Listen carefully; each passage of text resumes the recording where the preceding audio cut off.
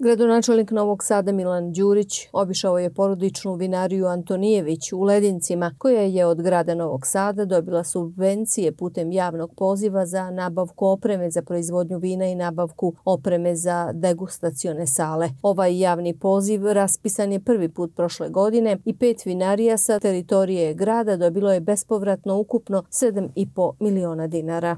Danas u obilasku vinarije Antonijević kako mi kaže vlasnik, direktor, da je ovo poslednja, nažalost, vinarija u Ledincima.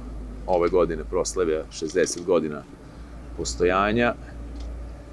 Grad je prošle godine pokrenuo jedan novi javni poziv, a to je nabavka opreme za vinarije i nabavku de, za degustacione sale.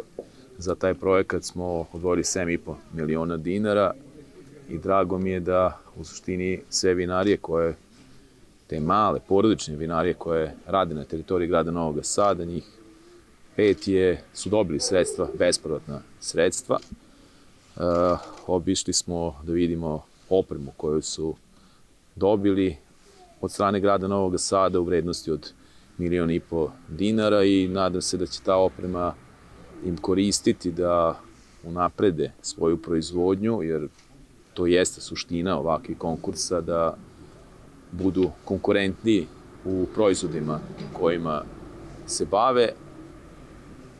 Simbolika danas je i zaštitnik vinogradara i vinara, Sveti Trifun, tako da na simboličan način smo i došli danas da obiđemo vinariju Antonijević, Poslednjih godina evidentan je i rast takozvanog vinskog turizma, što je država dodatno uvidela kao vrednost i motiv za davanje podsticaja za razvoj.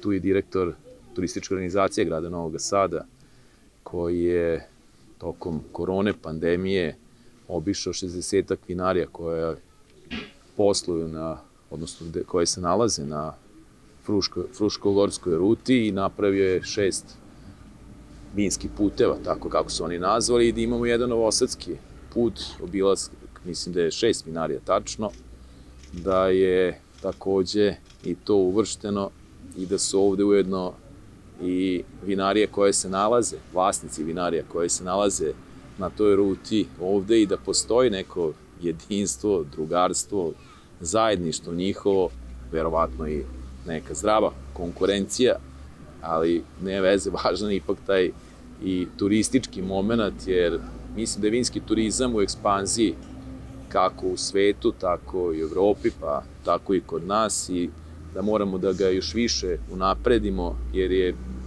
od izuzetne važnosti i takođe Novosadsku vinsku rutu ili Novosadski vinski put.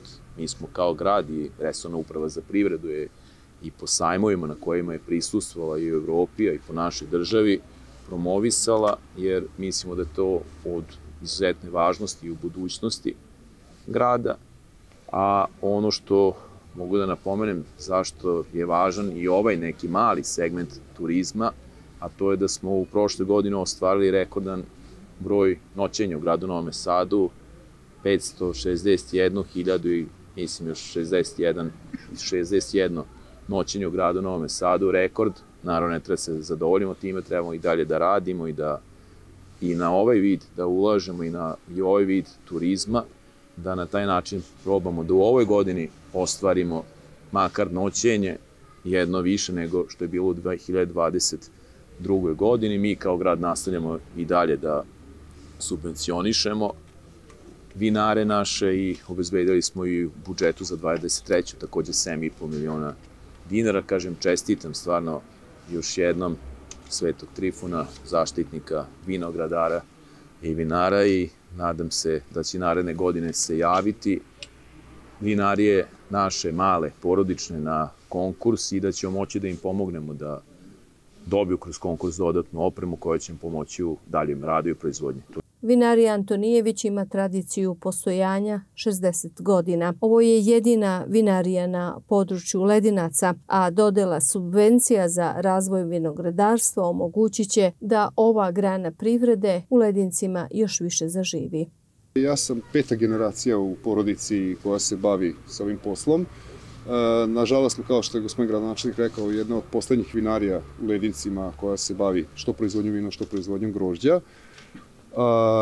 Nadam se da ćemo nastaviti, pošto imam naslednike, da se bavimo kao porodica sa proizvodnjom vina. Što se tiče konkretno ove pomoći od grada Novog Sada, ona će nam pomoći u mnogo u tome što ćemo sam nivo podići na, na podići mnogo više nivo kvalitet vina i olakšati sebi posao oko proizvodnje vina. I drago mi je da je grad Novi Sad prepoznao kapacitet koji kao grad imamo, tako da vi danas kad pogledate sa koje god, koje god strane grad u Novom Sadu prilazite, možete da popijete izuzetno lepu čašu vina, počev od kad prilazite od strane Bačke Palanke, Zrenjanina, sa koje god strane od Semci Karlovaca, grad Novi Sad i može da se ponosi sa svojim vinarijama. Potrebno je naglasiti da će grad Novi Sad i u ovoj godini obezbediti subvencije za vinare. Ove subvencije predstavljaju svojevrsnu pomoć države za koju se svake godine raspiše javni konkurs. Osim što se ulaganjem u vinogradarstvo podstiče poljoprivreda, podstiče se i rast turizma i ugostiteljstva.